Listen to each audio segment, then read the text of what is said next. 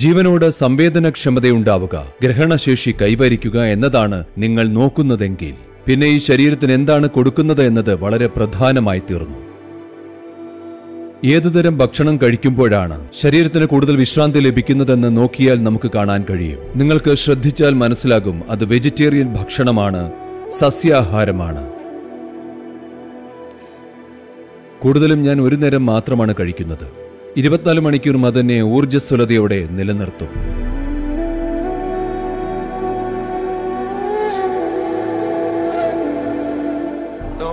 could you just explain to me um, why so many people in India are vegetarian and the importance of food and fruit in your general day to day life?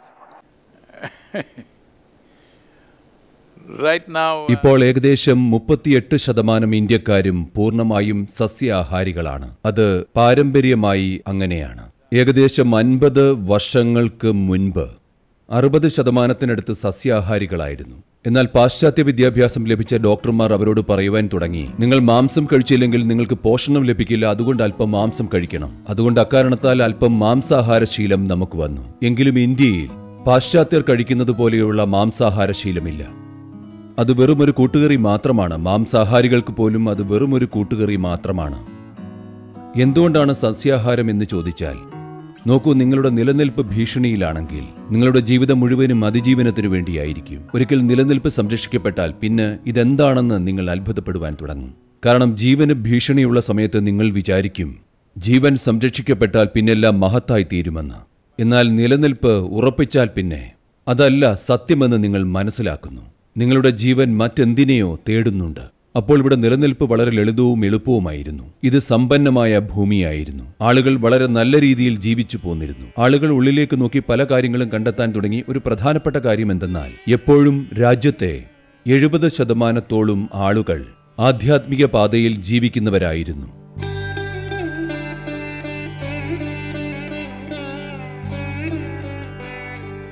ഉള്ളിലേക്ക് നോക്കുക എന്നത് ജീവിതത്തിന്റെ പ്രധാനപ്പെട്ട ഒരു ഭാഗമായിരുന്നു. അതുകൊണ്ട് തന്നെ അവർ ഉള്ളിലേക്ക് നോക്കിയപ്പോൾ എന്ത് കഴിക്കുന്നു എന്നത് പ്രധാനപ്പെട്ടതാണെന്ന് അവർക്ക് ബോധ്യമായി. നിങ്ങൾക്ക് ഒരു മല്ലനായി തീരുകയാണ് വേണ്ടതെങ്കിൽ നിങ്ങൾക്ക് ഇഷ്ടം പോലെ മാംസം കഴിക്കുകയും തമ്മിൽ കലഹിക്കുകയും ചെയ്യാവുന്നതാണ്.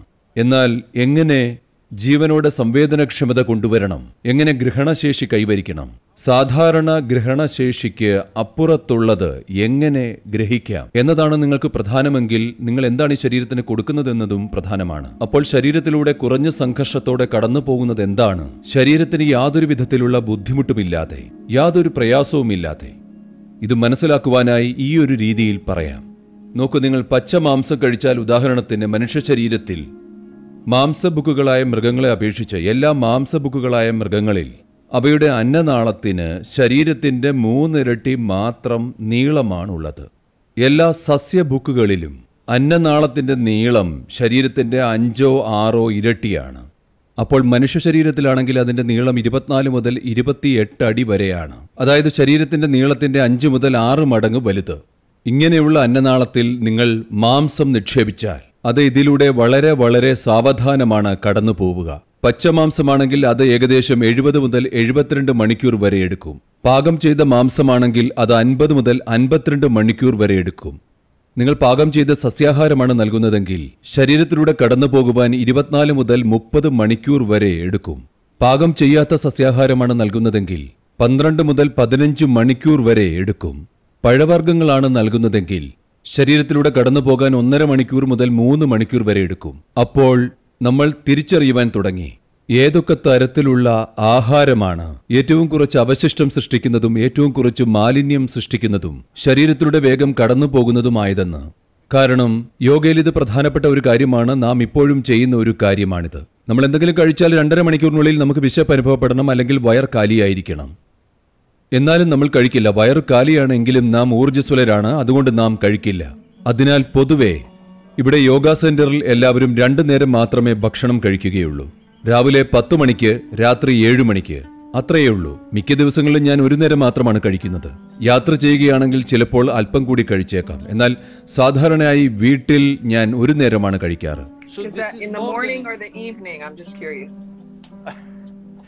സാധാരണയായി അത് വൈകുന്നേരം നാലരയ്ക്കും അഞ്ചു മണിക്കും ഇടയിലായിരിക്കും.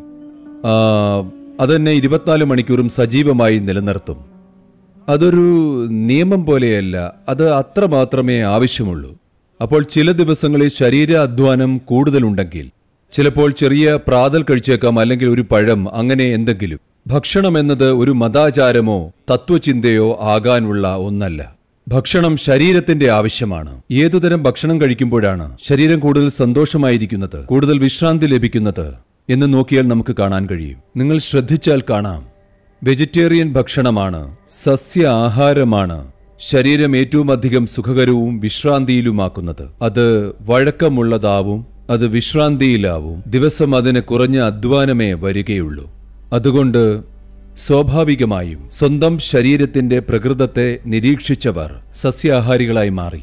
നിലനിൽപ്പ് തന്നെ വലിയ പ്രശ്നമായിരുന്നപ്പോൾ വേട്ടയാടി കൊല്ലുന്നവയെ തിന്നുക എന്നത് സ്വാഭാവിക നടപടിയായിരുന്നു. എന്നാൽ സമൂഹം ഒന്ന് സ്ഥിരപ്പെട്ടപ്പോൾ അവർക്ക് വേണ്ടത് കൃഷി ചെയ്യാൻ ആരംഭിച്ചപ്പോൾ അവർ സ്വയം കൂടുതൽ കൂടുതൽ നിരീക്ഷിക്കുവാൻ തുടങ്ങിയപ്പോൾ ജീവിതം എന്നത് അതിജീവനത്തെക്കുറിച്ചുള്ളതല്ല അതിലുപരി അനുഭവത്തിന്റെയും ഗ്രാഹ്യത്തിന്റെയും കൂടുതൽ ഉയർന്ന തലങ്ങളെക്കുറിച്ചുള്ളതായി മാറി. അപ്പോൾ സസ്യാഹാരിയാവുക എന്നത് സ്വാഭാവികമായി അത് ഒരു സ്വാഭാവിക പ്രക്രിയയാണ് എവിടെയും അത് അങ്ങനെ തന്നെയാണ് സംഭവിക്കുക.